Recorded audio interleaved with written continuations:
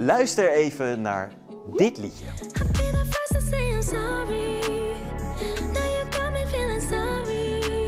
En nu dit liedje.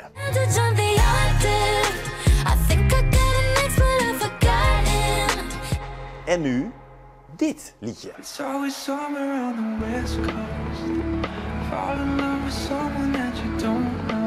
Klinkt hetzelfde. En er zijn nog veel meer voorbeelden.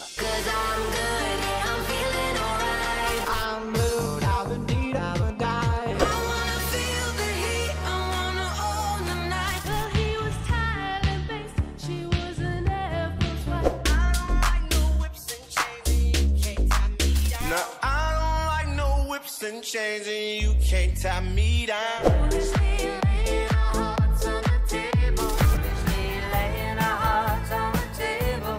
Stumbling in. Liedjes die letterlijk gekopieerd zijn. Dat is ook de reden waarom je vader of moeder al die nieuwe liedjes kent. Of erger, meeblert. Is muziek op of zo? Hoeveel nieuwe liedjes kunnen artiesten nog maken? Of hebben we muziek uit? Gespeeld. Nee, maar dat hebben we wel uitgezocht. Een serie van het Jeugdjournaal waarin we altijd één ding voor je uitzoeken. Eerst een vraag voor jou over dit nummer. Het klinkt als een oud liedje dat wel vaker is nagemaakt. Maar welke van deze was er het allereerst en is dus het origineel? A. Whenever, wherever, we're meant to be together. B. Whenever, wherever, we're meant to be together. Of C.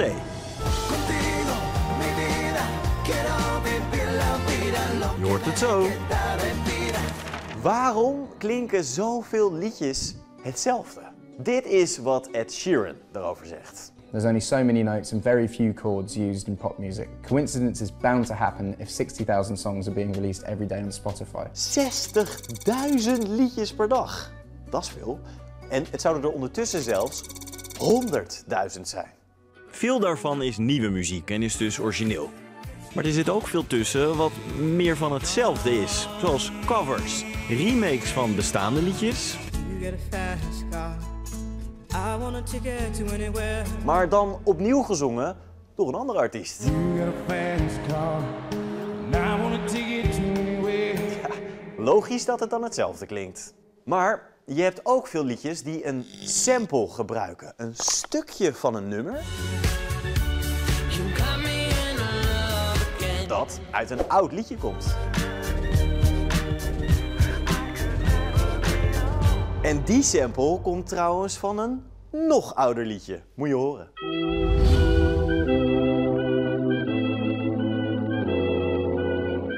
Grappig toch? Maar er is nog een andere reden waarom zoveel liedjes hetzelfde klinken. Artiesten gebruiken vaak dezelfde klanken, akkoorden, die ze steeds herhalen in hun nummers. Deze vier zijn het populairst.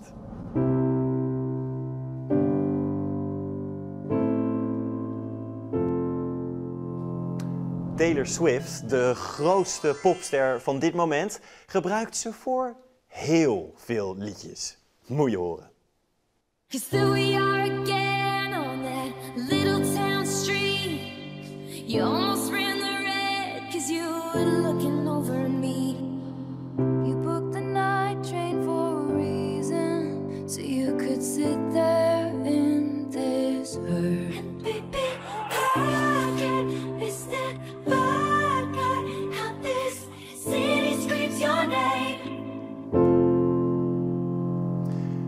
Die vier akkoorden passen mooi bij elkaar en daarom klinkt het zo goed. En worden ze zo vaak gebruikt. Terug naar de vraag van de video. Dit liedje is al heel vaak nagedaan, maar welke is het origineel? Het antwoord B. Whenever, Wherever van Shakira. De nieuwe versie is van Kygo en de zangeres Eva Max. En ja, zij doet wel vaker liedjes na.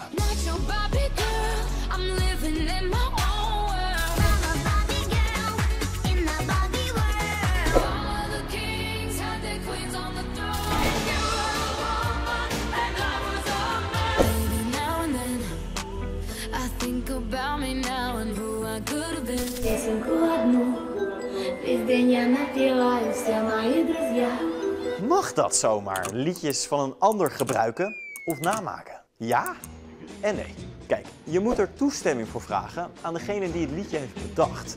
Als die het goed vindt, dan moet een artiest er meestal geld voor betalen. Dat is ook wel zo netjes. Maar gewoon een liedje kopiëren en doen alsof je het zelf hebt bedacht, dat mag natuurlijk niet. Dat is gewoon stelen. Best veel artiesten zijn daarvan beschuldigd. Luister eens naar dit liedje van Olivia Rodrigo.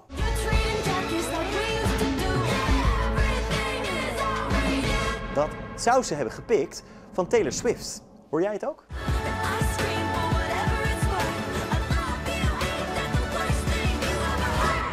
De zangeressen hebben het opgelost. Ze delen nu het geld dat Olivia verdient met het liedje. Artiesten hoeven trouwens geen toestemming te vragen als de bedenker van het liedje al echt heel lang dood is. Voorbeeld, de componist Johan Pachelbel, die meer dan 300 jaar geleden is overleden. Dit stuk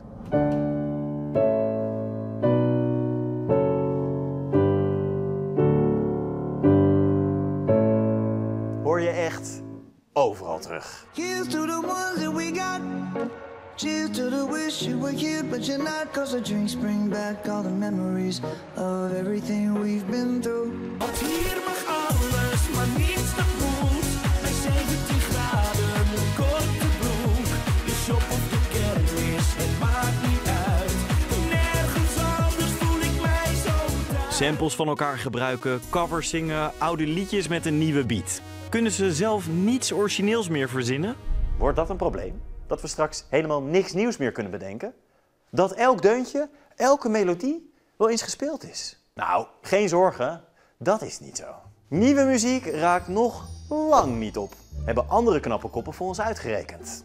Met allemaal ingewikkelde berekeningen, rekensommen en formules zijn ze erachter gekomen dat er nog triljoenen melodieën en deuntjes mogelijk zijn. Wil niet zeggen dat het allemaal even mooi is. Want echt elke melodie en ieder deuntje dat je maar kunt bedenken, tellen ze mee. Hoe lelijk en verschrikkelijk het ook klinkt. Het meeste klinkt ongeveer zo.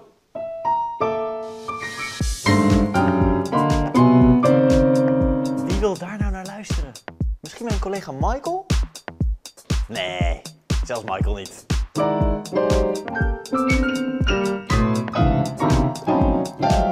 Ken jij liedjes die verdacht veel op elkaar lijken? Laat het weten in de comments, vinden we leuk.